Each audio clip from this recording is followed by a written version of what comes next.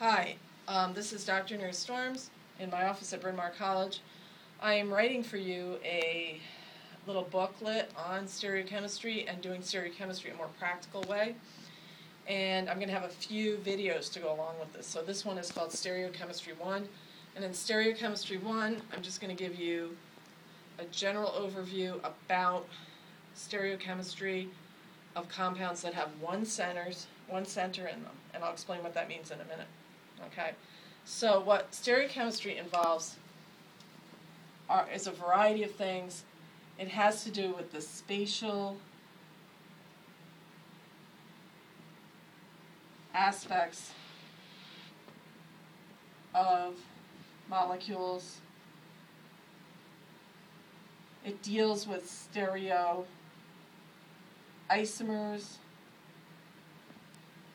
and um, stereoisomers are compounds that have the same connectivity but different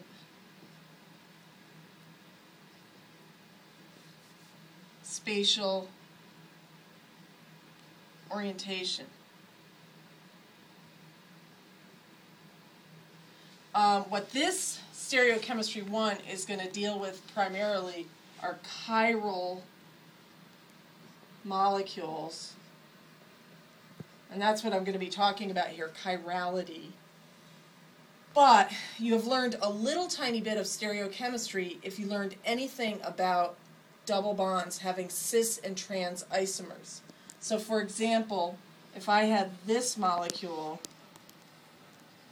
this should look familiar to you at this stage of the game, versus this molecule,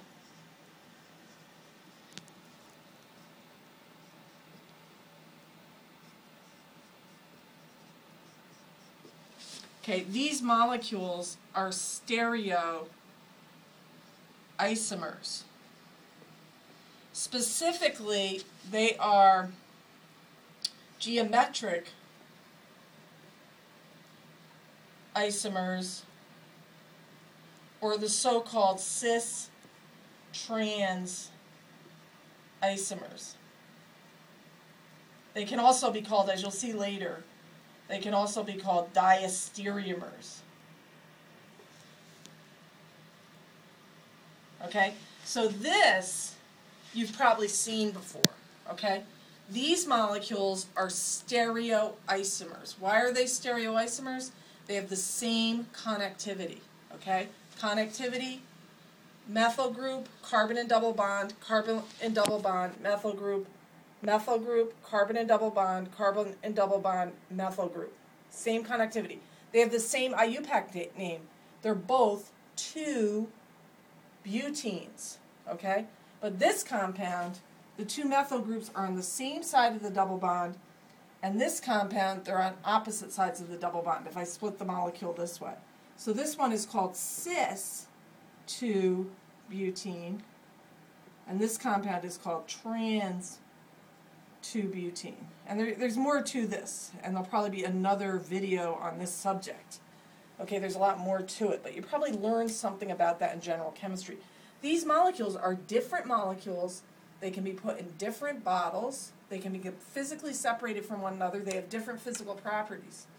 Because this, the interconversion of this molecule to this molecule requires breaking bonds. In other words, we would have to break the H and methyl off and reconnect them the other way. And it has to do with the fact that the pi bond doesn't have free rotation, and that's something you should have learned already, okay, in the course. So this is an area of stereochemistry. But the place we want to focus today, we want to be focused on chiral molecules, chirality. These molecules are not chiral molecules. And this is because chirality, or chiral molecules, or I'll say chirality, which is a property, it is a three-dimensional phenomenon. And we have chirality, or something is chiral, when the shape of the object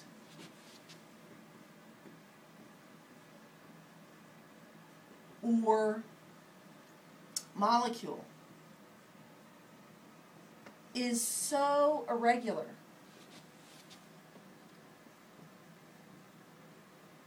or asymmetric that it is non superimposable. You can see I have a very messy board here. Imposable on its mirror image. Okay, Clem, how are we for time? Uh, six minutes. We're six minutes in? Yep. Okay. So, what we're going to be dealing with now is chirality. And again, if something is chiral, the shape of the object or molecule is so irregular or asymmetric that it is non superimposable on its mirror image. And this, again, is a three dimensional phenomenon. So, we say molecules are chiral or they possess chirality. Now, to give you an example of an object that's chiral, hands, feet, okay? My feet are in my shoes, so it's not so obvious. But hands are chiral, okay? My right hand is chiral. My left hand is chiral. My right hand has such an irregular shape that it is non superimposable on my left hand. That means it's non congruent. It can't occupy the same space. So let me show you this. If I take my right hand and I take my thumbs and I superimpose my thumbs, my other fingers don't superimpose. If I take my pinkies and superimpose them, the rest of my fingers don't superimpose. If I if I try to make these fingers occupy the same space, the rest don't superimpose. I can face them off against each other, but this is not superimposing. Superimposing would mean they'd have to be able to occupy exactly the same space. You will find this property with many objects in our world, okay? Think about your feet.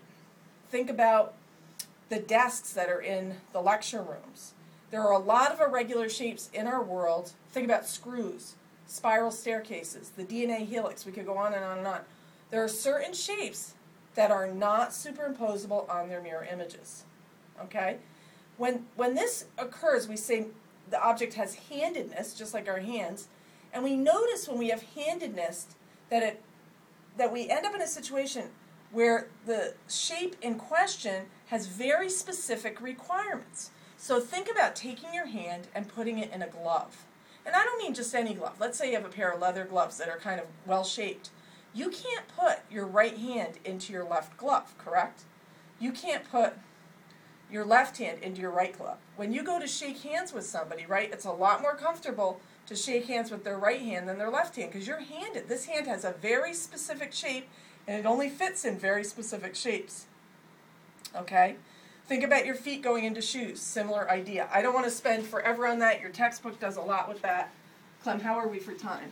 Uh, eight and a half minutes. Okay, I'm just going to talk for like one more minute.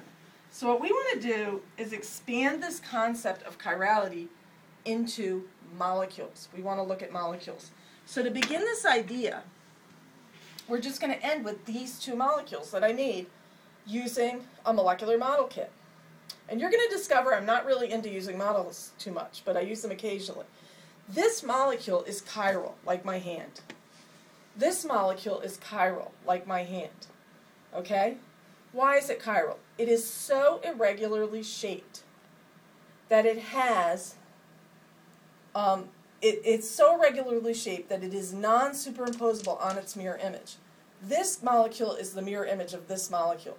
Okay, so let's test its superimposability. If I pick this up and I try to get the green to line up with the green and the orange to line up with, or the red to line up with the red, you will notice that the black is not congruent with the black.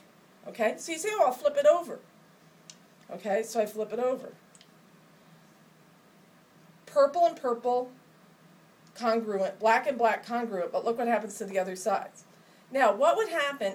How would you superimpose these? You would have to take two bonds, break them, insert them the opposite way for them to become the same molecule.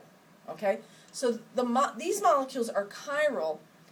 The definition of chirality is non-superimposable on the mirror image.